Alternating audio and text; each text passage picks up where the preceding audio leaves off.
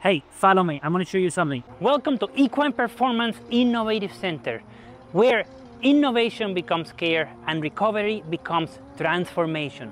At Epic, we are dedicated to innovative, cutting edge technology from advanced regenerative therapy to advanced recovery tools. Our mission is to transform patients to reach their peak performance ability. Look at that feet. So this horse is in the vibration plate.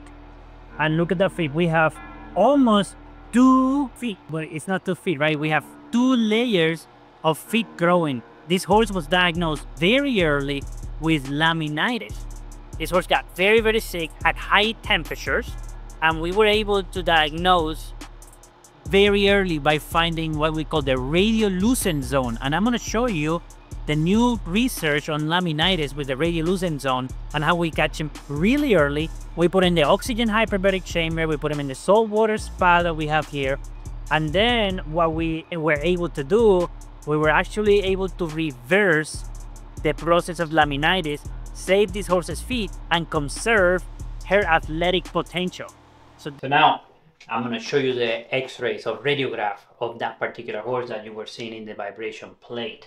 What we are seeing here is I want you to focus on this area here and we're going to call this the radiolucent zone. The radiolucent zone. I'm going to show you something really actually really cool because lately we have been finding out that this particular area between here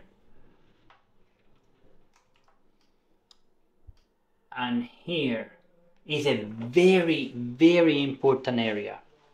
This area is extremely important because we are recognizing the earliest sign of laminitis in the radiograph.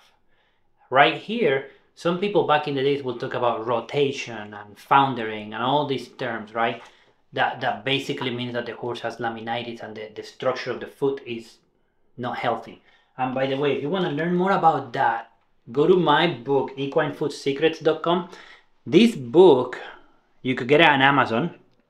And this book is designed to help you understand the anatomy of the foot. I'm just going to give you a quick example. So what I did is put in very, very easy terms, sections of the foot so that you can understand a lot more about your horse. And there are tons tons of graphics on how to understand what's going on inside the foot. So Equine Foot Secrets is designed for horse owners and trainers to explain what's going on inside the foot, right?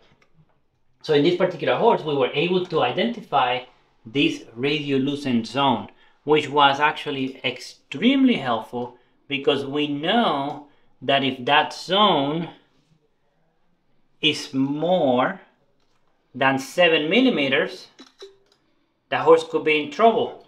And sure enough, look at this particular horse. It was about 11 millimeters here and 8 millimeters here. So what we do at that moment when we diagnose the problem, we completely stop the horse. We don't wait and see what happened. Like I was telling you earlier, we start going, okay, hyperbaric oxygen chamber, saltwater spa, uh, acupuncture, vibration plate, we actually go what we call whole hog, the Cadillac treatment, because these are very valuable horses and we don't want to wait and see what happens. We just want to treat as soon as possible. And what's the result? I just showed you. This horse is starting to develop a brand new hoof. And this particular horse is actually going to recover completely. Where if we would have not been paying attention to what was going on every week, almost almost every other day, we would have actually lost the horse. So, lesson of the day diagnose early, take a lot of radiograph. If we suspect laminitis and we don't have evidence of rotation, we go back to that radiolucent zone and we attack as aggressive as possible. So that's all we're doing here. It's actually a very cool case because it shows you how being proactive, being proactive about diagnosing and treating laminitis is actually the way to go. Sometimes, many times, too many times we go into, okay, let's wait and see what happens. Let's wait and see what happens. But what I have found out is that when we are waiting and see what happens, that might be sometimes too late. Because yes, probably 60% of the horses that we treat will get better by themselves. But I'm not interested in that 60%. I'm interested in the other 40%. What can I do to take that 40% and make it 20, 10, or 0? So this is actually a perfect example, extremely good example of how we can early diagnose laminitis and make a horse better soon.